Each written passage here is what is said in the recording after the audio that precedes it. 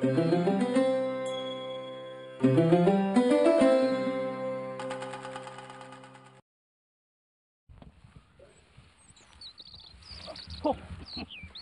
ഇവിടെ ഇരിക്കായിരുന്നു. പ്രസിഡന്റ് നമ്മുടെ ഷാനുമോൾ ഉസ്മാൻ രാഷ്ട്രീയ കളി മതിയാക്കാൻ പോകുന്നു എന്ന് കേൾക്കുന്നുണ്ടല്ലോ. നിങ്ങൾ വല്ലതും കേട്ടായിരുന്നു? അവർക്ക് മതിയായെങ്കിൽ മതിയായി എന്നല്ലാതെ ഇതിലൊക്കെ എന്താ ഇത്ര അറിയാനുള്ളത് നേതാക്കൾക്ക് അത്ര വലിയ ക്ഷാമമുള്ള പാർട്ടിയൊന്നുമല്ല ഞങ്ങളുടെ കോൺഗ്രസ് എന്ന്. നിങ്ങൾക്കും അറിയാവുന്നതല്ലേ? സാറേ ഈ ഷാനി ചേച്ചി എന്തിനാ സാറേ? ഈ പണി മതിയാക്കുന്നേ?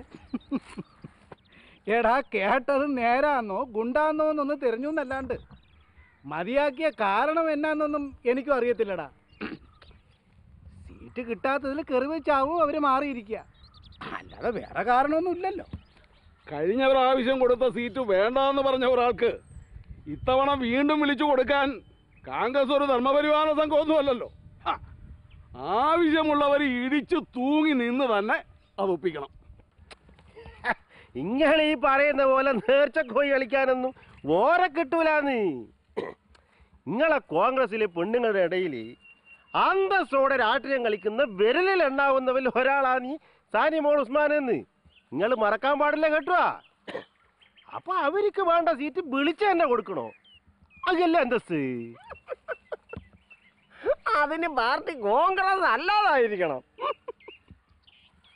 സ്ത്രീകളെ അംഗീകരിക്കുന്ന ഒരു പ്രസ്ഥാനമല്ല അവരെന്ന് അറിയണമെങ്കിൽ അവരുടെ സ്ഥാനാർത്ഥി ലിസ്റ്റ് നോക്കിയാ പോരെ.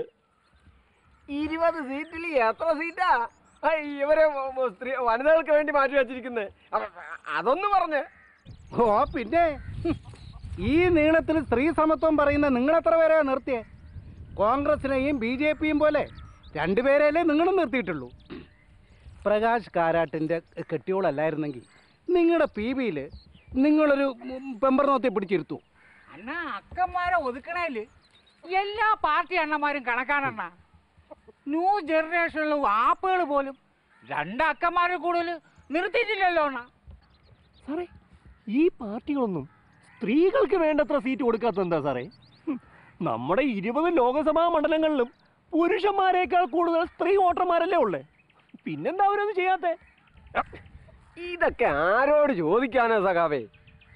സ്ത്രീകൾക്ക് ആവശ്യമുള്ള സീറ്റ് നിയമം മൂലം കൊണ്ടുവരാമെന്ന് ആലോചിക്കുമ്പോ സ്ത്രീ സംവരണ ബില്ല് കോൺഗ്രസ് തന്നെ ഒഴിച്ചു വെക്കുന്നു.